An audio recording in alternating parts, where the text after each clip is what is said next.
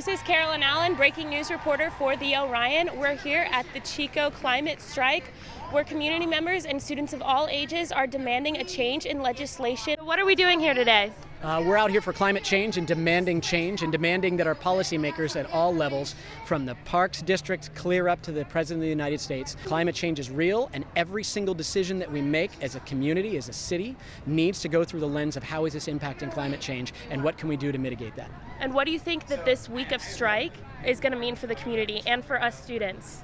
Well, I mean, this is sending a message home to, to every single policymaker, everyone that supports them, that we will not stand by while they continue to ignore the realities when we've got a, a, a climate that is destroyable within 12 years.